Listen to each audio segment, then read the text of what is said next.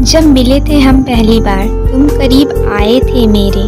तुम्हें मैं अच्छी लगने लगी थी और मैं भी तुम्हें पसंद करने लगी थी। अब तुम्हें मेरे साथ वक्त बिताना अच्छा लगता था और मुझे भी तुमसे किया हर वादा सच्चा लगता था। घंटों घंटों फ़ोन पर बातें किया करते थे तुम। मुझसे मिलने के बाद अक्सर लेट सोया करते थे तुम। बात पर तुम मेरे लिए केयर दिखाया करते थे। जाऊँ, मैं कभी तो तुम झट से मना लिया करते थे। 25 से 30 किलोमीटर तक रोज मुझसे मिलने आया करते थे और उसके बाद मुझे घुमाने भी ले जाया करते थे। आज साथ होकर भी हम साथ नहीं हैं। क्यों? आज मेरे मेरे हाथों में तेरा हाथ नहीं। एक छत के नीचे रहकर भी अजनबी बन गया। पता नहीं अचानक तू इतना क्यों बदल गया?